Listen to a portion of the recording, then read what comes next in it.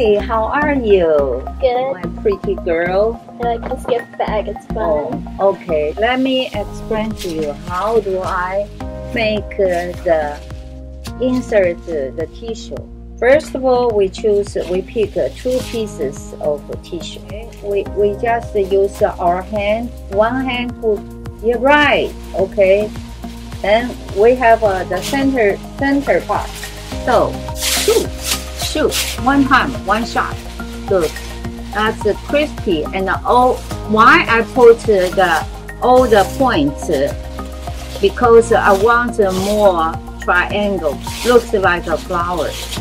So ready? We insert into the back, halfway.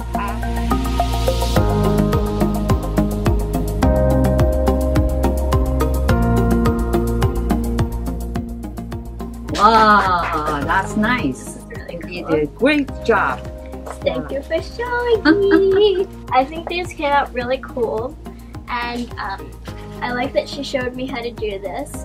But Everything you need to celebrate. This is FLOMO.